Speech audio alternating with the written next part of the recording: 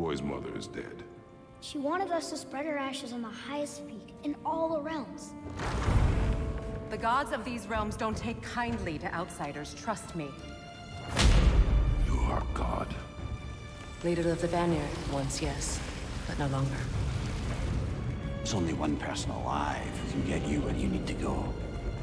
First, you need to cut off my head. Odin's eye is on you, brother.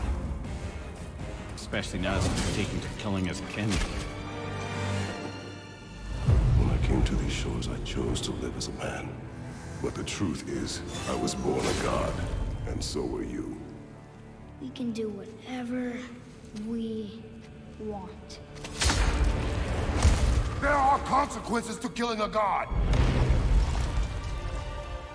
Mother. Back off, Kratos. This has nothing to do...